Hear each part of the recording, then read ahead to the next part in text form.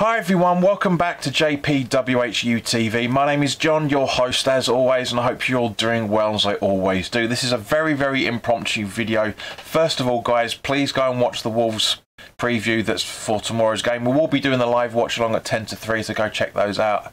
Um, so go, go have a look at it and make sure you've um, make sure you've got everything ready I certainly have. I'll be uh, for those that are following us on uh, Twitter and Facebook. I'll be put, um, I'll be putting up on those platforms what channels you can watch it on because obviously it's a three o'clock kickoff. So keep an eye out for that and follow us on Facebook and Twitter and every, everywhere else for that matter. All the links in the description below. Now, you see, the thing is, guys, is this, I say, this is quite an impromptu video because I've been keeping an eye on what's been going on over in Austria. Because as we know, for the, or for the majority of those that haven't been keeping an eye on it, just like I'm not interested in anything else other than West Ham, understandable. Austria is going into full lockdown on Monday. So, could this be a little bit of a um, respite, shall we say, for the squad? Is the game going to go ahead? If it will, it, it was more than likely going to be behind closed doors for obvious reasons. You know, full lockdown. We know, you know we've we all experienced that. Um, there's good. There's a good chance that the uh, the fans that are fly were, were booked, booked to fly out should should I'm guessing depending on the depending on the hotel and the and the flight operator you book you booked your tickets through and your uh, hotel reservation respectively through.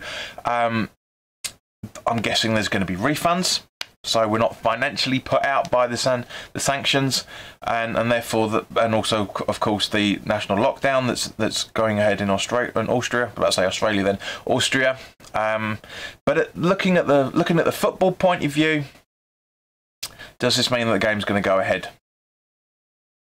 We don't know. We don't know yet. We'll have to wait and see what happens. There's probably a good chance it's going to be behind closed doors because the money involved the, um, that UEFA have got invested in that game, such such as it is. You know, the TV money, sponsorship deals, blah blah blah, the usual bollocks. Which is why, which is why, lock, which is why uh, this, the Premier League was able to resume and start in their respective seasons.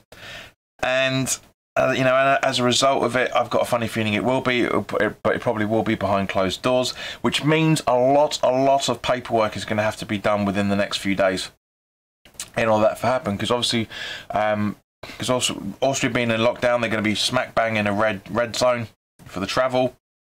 And as a result of that, you know, the club is going to have to get dispensation from the government to fly out there, and we'll also going to have to apply for Austrian government approval to get out there as well, for that matter. So it's interesting. It really, really is interesting. Is it going to happen? We'll have to wait and see. We'll find out in the next few days, of course. Uh, nothing has been confirmed as yet, other than it, other other than that, the fact that the game was meant to be broadcast on BT Sport One. If I do see anything, uh, information that comes out, say the game is going to go ahead, then I'll let you guys know through social media. Um, and also, as, as I say, just uh, it's just it's bonkers. Uh, the, the preview's practically ready. I mean, there's not much to talk about when when the preview for this game anyway, because we only played them a few weeks ago anyway. So not much has changed. Rapid Vienna aren't exactly having the best of best of times in their respective lead at the minute, but we'll go into that in more detail should the game go ahead. Now, as I say, what what will happen if the game doesn't go ahead?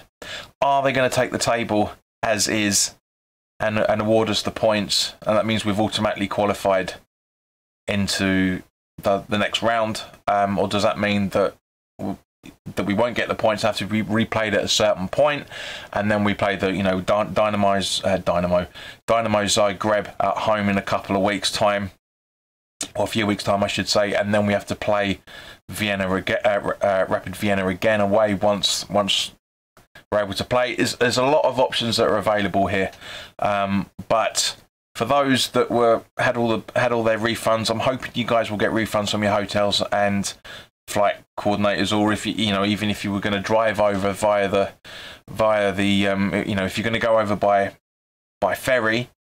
Hopefully you guys will get get that sorted out as well.